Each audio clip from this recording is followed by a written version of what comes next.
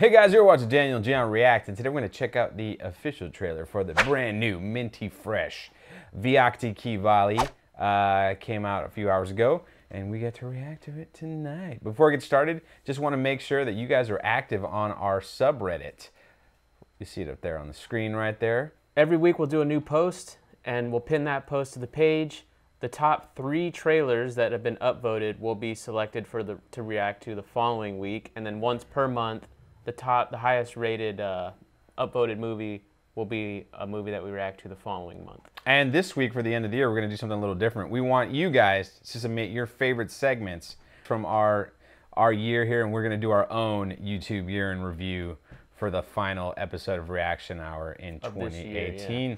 So favorite trailers, favorite moments during reviews, like whatever you guys liked from us, submit it to us using the hashtag DG Rewind, and then we'll get to it. There we in- go. In the reaction hour. But uh, let's get started. Let's do it. Smash that like button and sub- subscribe if you're not a subscriber. माझं नाव That's a long name. I don't know, my name's pretty long. तसं अहो by अशी हाक मारू शकतो मग काय की अनेक अहो असतील तर मी नक्की कुठल्या अहोंना अहो म्हटले हे कसं कळणार हो Spande. गोविंदराव टेंबे जन्माला आलेत आपल्याकडे. काहीतरी काय बाबा? गोविंदराव किती मोठे अरे आदर्श नेहमी मोठाच असावा पुरुषोत्तम. मुजरा सरकार. मुजरा मुजरा. हा मुलगा जन्मभर त्याला आनंद वाटेल तेच करणार. आणि दुसऱ्यांनाही आनंद देणार.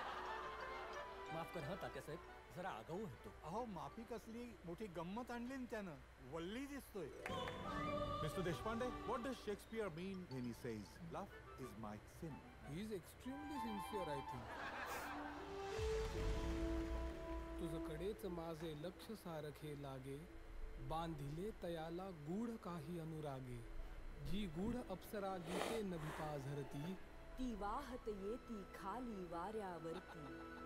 ठाकूर आपण लग्न करूया? कुलकर्णी सया घेऊन टाका पटापट. मी जरा नवीन सदरा घालून देऊ का? कोणत्याही कायद्यात लिहिलेलं नाहीये की चांगला सदरा घालूनच लग्न करायचं असतं. इथं आमच्यापेक्षा बाकीचे सगळे विनोदी आहेत. सुटका नाहीये तुझी? सुटायचंय कुणाला? काय चाललंय पोरकटपणा? तुझं लग्न झालंय आता भाई. ईशा पाहिल ना कोणीतरी? म्हणायची चालच उरली नाहीये. एक गुड न्यूज आहे. नाट्य निकेतनाचा पहिला सिनेमा कुबेर आणि त्यात मला महत्वाची भूमिका आहे. माझ्याकडे पण एक गुड न्यूज आहे. तुझी नंतर सांगणं. स्वतःच एखाद्या लहान बाळासारखं. आहे माझं फार दुर्लक्ष होतं का ग तिच्याकडे? प्रत्येकाच्या वाटेला दुःखाचा आणि आनंदाचा एक ठराविक कोटा असतो. त्यातला दुःखाचा कोटा लवकरात लवकर संपवून टाकावा. म्हणजे मग उरतो तो फक्त आनंदच आनंद.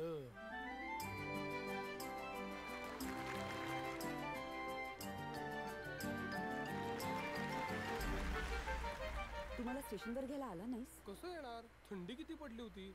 बरं तू संत्री आणलीस ना हसायला काय झालं मला एकही कारण सापडत नाहीये तुझ्याशी लग्न करायचं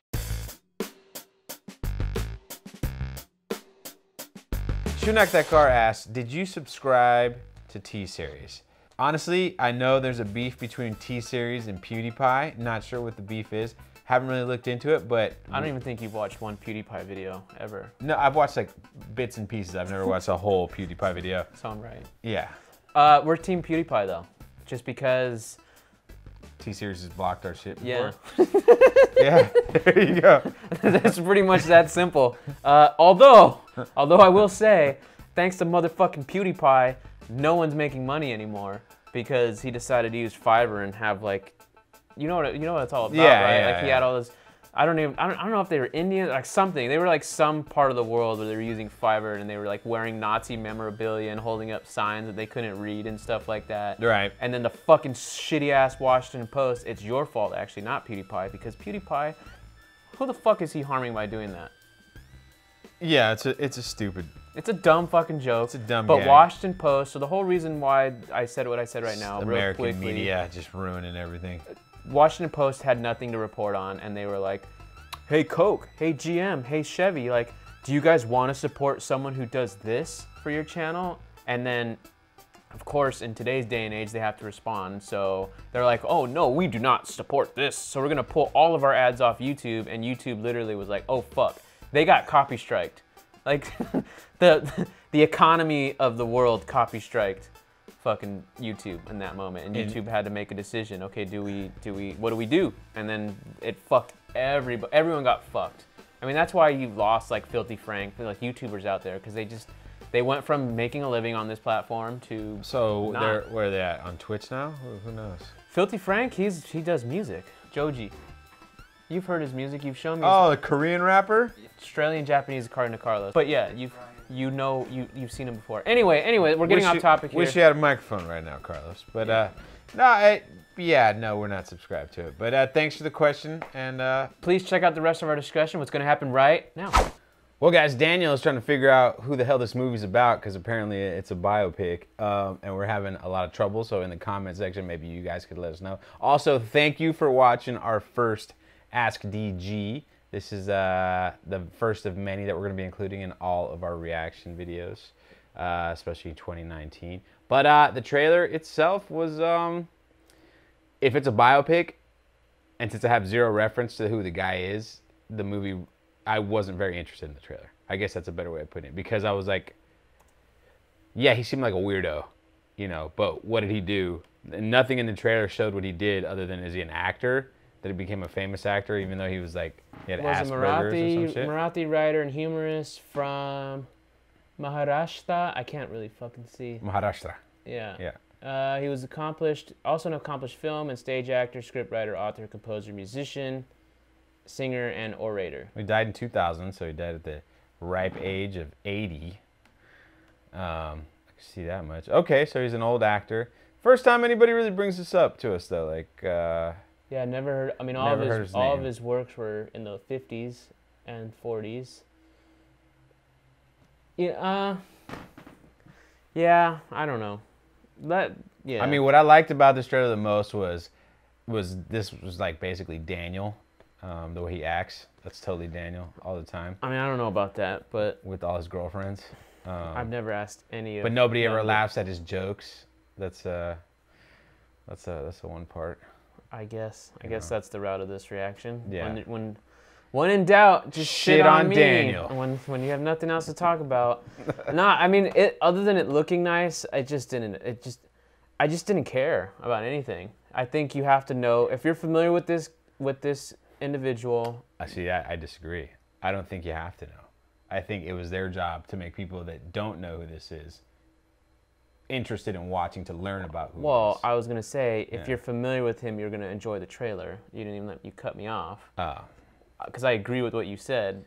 That's 100% what it is. kind of I'm like sa- Sanju Yeah, with with the the movie itself. Although I would fucking argue that if I knew all about fucking Sanjay Dutt, that Sanju would still be a piece of shit film because it was a piece of shit film at the end of the day. And we should talk about that for a second because we actually we've been wanting to talk about that in other videos, and it's probably a good time to talk about it now because no one will watch this video, Right. and then we can still do that video later and it'll be fresh. Yes. But the conversation is, you know, should a movie like people like to say, you don't understand, Daniel. You don't understand, Gian. You're not Indian. You don't have the context of what it's like. And we always argue that that is a factor. You know, where you were raised, what how you were uh, brought up, and all this stuff. A factor in watching a movie that takes place in a certain village in a certain X, Y, or Z. But at the end of the day, at the end of the day, the film still needs to work as a film, and us as outsiders are allowed to be a little bit more objective. Yeah, absolutely. And the way I look at it is, okay, there's certain things where I'll agree with you.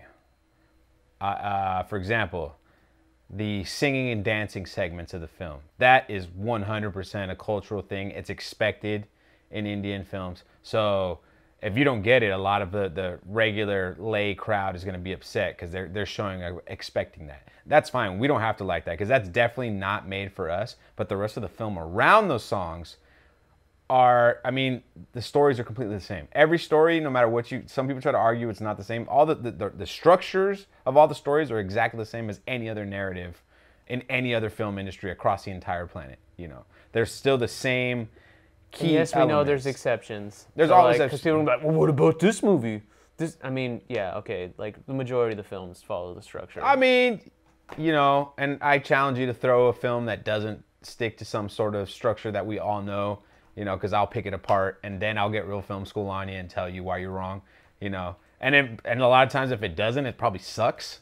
You know, that's the other part. Like the the films that try to go way off the traditional beaten path are usually pretty shitty, and only like a select few people that are like real nose in the air kind of fart sniffers will try to defend how how wonderful or great it is. You know. I don't second that opinion, but I Oh. know where he's coming from. Cause I like. He got triggered because he is a fart sniffer himself at times. You guys know you've watched him. You've heard, you've seen his solo reviews. He gets a little. I'm just saying, but but I think, but I, I we say all this to say, when we watch this trailer, eh. Yeah, mm. and then the movie could be great, but the whole purpose of the trailer is to grab us, grab our attention. I mean, they got that cast too, he looks exactly like, not well, pretty close to the actual guys. We're looking at his picture on Wikipedia. It's up on but that doesn't right mean there. shit. No, if you I look, mean, I- if you look like the well, guy, that's what I'm okay, saying. Got that- good makeup, that- but that's what I'm saying. That's the best part of the trailer is that they cast it. You know, Or makeup. I don't know. I, I don't know what the other guy looks like in real life. They could have put some makeup Eh. on him. I mean, I'm just saying. Daniel Day Lewis looked great in Lincoln. Doesn't mean Lincoln was a great movie. okay. I thought you liked that. I thought it was okay. I, I, said didn't great. see it. I so thought it was- he was good, but how the fuck do I know what Lincoln was like? are you serious? What about all the fucking? His voice, the way he walked around. I don't know how any Bruh. of that shit. Did you already forget the 1861 documentary, "This Life of, of Lincoln"? I did. All right. I mean, my my first exposure to what Lincoln sounded like was at Disneyland, at the Hall of Presidents. That's, I mean, that's hilarious in itself. Like, how, there's no way anyone could verify it because there, it, no, sound recording definitely didn't exist back there, and they definitely didn't have film. They just had a picture. Yeah, they, take pictures. Yeah, and they're like, okay, by the way he looks, and we know he was like six five or something, or maybe taller than that. He had to sound like this, you know, or uh, or maybe someone was. What if what if Lincoln sounded like a weasel, and that's why they wanted to kill him? Because like he wants to do all these cool things, but he just sounds like a fucking chipmunk. Like I just can't. That'd be pretty- Scores, seven years ago. And then that would be pretty petty. They're just like fuck Lincoln, bah, and then he died. He died. died. He got killed what, in 1863. Yeah. So there was people alive, and maybe somebody was around who's still alive to when they built the Hall of Presidents at Disney and could verify what his voice sounds like. And then Walt Disney was like, he sounds like a bitch. You gotta add some octaves to his voice. No one's gonna take this seriously. Who knows? Who knows? Anyways, guys, that's gonna do it for us. Thanks for watching. You know the drill. Smash that like button. Leave comments. Let us know what you think. We will see you on the next one.